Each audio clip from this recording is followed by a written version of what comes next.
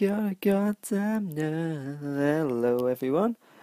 Uh, Ryan here, and I am here today reviewing the new Arca album, which is self-titled. Now, Arca is a music producer who has been around for quite a few years now. He's dropped a couple of albums. They've been very well received. I've also liked them quite a bit. I think Xen is his best album, which was his first album and he's become known for his weird and strange intricacies in his music. He has a very unique style to the way he produces songs. I don't think there's anyone else out there that's like him that I can think of. And yeah, he's also um, made some um, beats for Bjork and FKA Twigs. He's handled a lot of their production on their and their latest releases, and um, they've always come out incredibly well. One thing we haven't heard from Arca before, though, is his vocals, and on this new album, this is where we are introduced to Arca's very bizarre and um, kind of mysterious sounding voice, which crops up on quite a lot of these songs, and honestly, it adds quite a, haunt a haunting tone and the creepiness has only intensified. We have the track Reverie, which um, sees Arca wailing over this industrial percussive beat, and by the end of the track, you know, this song reaches epic proportions like no other Arca track I've ever heard before.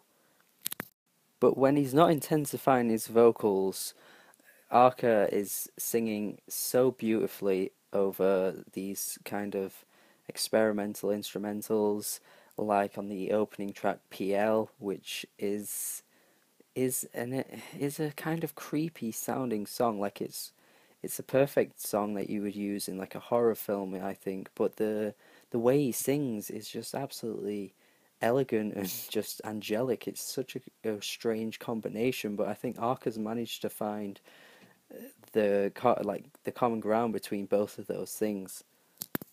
Also, there's a track Desafio, Desafio, which is Arca's most like catchiest song in a way. Like I, I find that refrain getting stuck in my head, and I love the beat on this song. It's really um, one of the best tracks I think I've heard all year. Actually, I really love this track.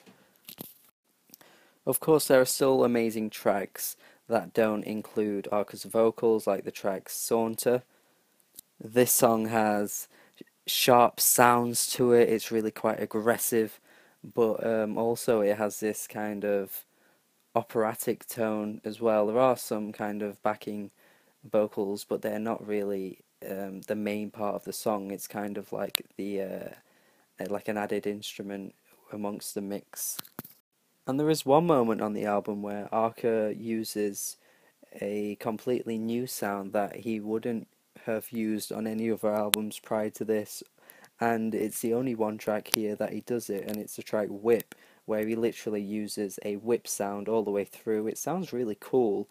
It's just a shame that the track isn't longer, it's only just over a minute long, and I would definitely like to hear him do more of this in the future using newer um, ob objects to make sounds with his um, with his albums.